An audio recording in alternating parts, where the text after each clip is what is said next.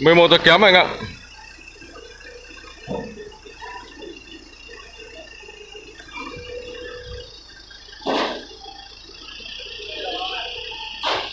Kém bao nhiêu anh?